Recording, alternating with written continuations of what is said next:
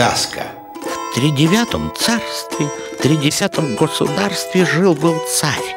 И был он славен не только крепким телом, но и крепким духом. Поэтому и звали его царь Горох. А жрать-то охота. Вот странно, а как остальные живут, я не знаю. Дай мне щей, пожалуйста. Щей мне подай, пожалуйста. Я царь или не царь? Я, ну, что это Здравствуй, такое? царь, батюшка. Здравствуй. Здравствуй. Ну, говори, выполнил ли ты задание то царское? Выполнил царь батю.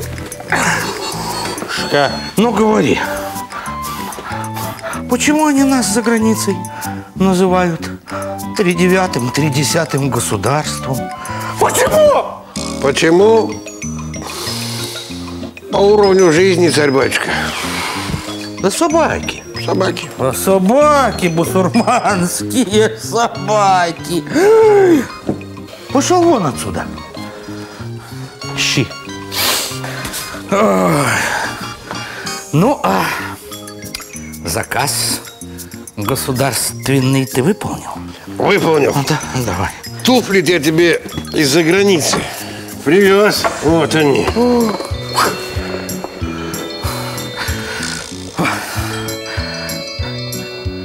Это туфли. Туфли.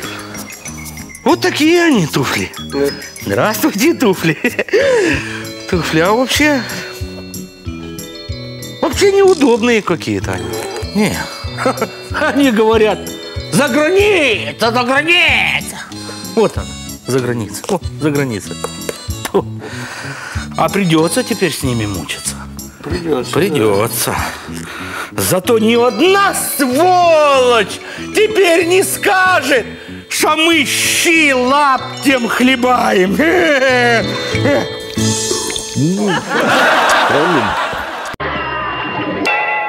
Сказка.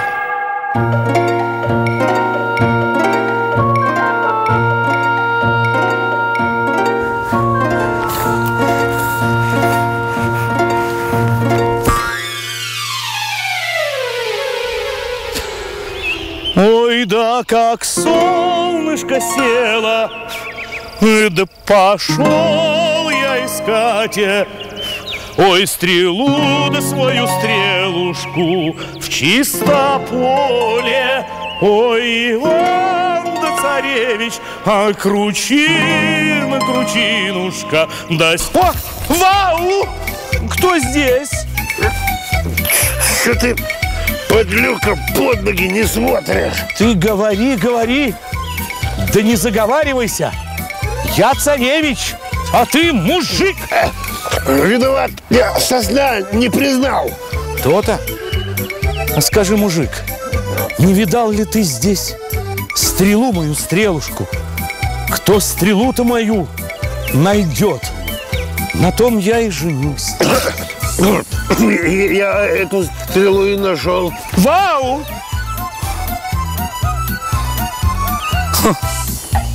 Че ты? Хотя, Да не, не, я, я ее лягушке отдал.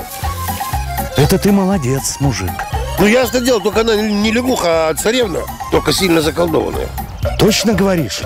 Точно, ну, она как себе шкурку скинула, прям, знаешь, не баба, а ягодка, вот все при ней, вот тут, тут, тут, тут, ну, прям малина, ну, Да, она это, она.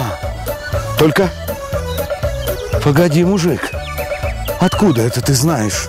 Про тут, тут. Ты говори, говори, да не забывайся. Я ведь царевич, можно сказать, принц, а ты, тфу, мужик. Ну, правильно, она так и сказала. Принца, говорит, можно всю жизнь ждать, а мужик, он же каждый день нужен.